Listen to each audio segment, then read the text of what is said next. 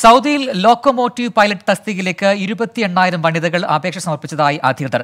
മുപ്പത് ഒഴിവുകളിലേക്കാണ് അപേക്ഷ ക്ഷണിച്ചത്. തെരഞ്ഞെടുക്കുന്ന ആളുകളെ മക്ക മദീന ഹറമീൻ ട്രെയിനിൽ നിയമിക്കും.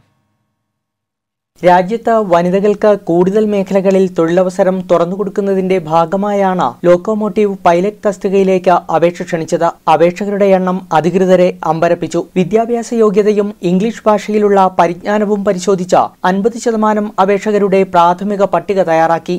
ഇവരിൽ നിന്ന് മുപ്പത് വനിതകളെ കണ്ടെത്തും. ഇവർക്ക് ശമ്പളത്തോടെ ഒരു വർഷം പരിശീലനം നൽകും. പരിശീലനം വിജയകരമായി പൂർത്തിയാക്കുന്നവരെ മക്ക മദീന ബുള്ളറ്റ് ട്രെയിനിൽ നിയമനം നൽകും. സൗദി അറേബ്യയിൽ എൺപത് സ്വദേശി പൗരന്മാരാണ് ലോക്കോമോട്ടീവ് പൈലറ്റ് തസ്തികയിൽ ജോലി ചെയ്യുന്നത്. അൻപത് പേരെ പുതുതായി നിയമിക്കുകയും ചെയ്യും. സമ്പദ് വ്യവസ്ഥയുടെ വൈവിധ്യവൽക്കരണത്തിന്റെ ഭാഗമായി കിരീടാവകാശി പ്രിൻസ് മുഹമ്മദ് ബിൻ സൽമാൻ പ്രഖ്യാപിച്ച വിഷൻ രണ്ടായിരത്തി മുപ്പത് പദ്ധതിയിൽ വിവിധ സ്ത്രീ ശാക്തീകരണ പദ്ധതികൾ ഉൾപ്പെടുത്തിയിട്ടുണ്ട്. ഇതുവഴി തൊഴിൽ മേഖലയിൽ സ്ത്രീ പങ്കാളിത്തം വർദ്ധിച്ചിട്ടുണ്ട്. വിദേശികളുടെ കുത്തകയായിരുന്ന പല തൊഴിൽ മേഖലയിലും സ്വദേശികൾ ജോലി ചെയ്യുന്നത് വലിയ മാറ്റമാണ് രാജ്യത്ത് സൃഷ്ടിക്കുന്നത്.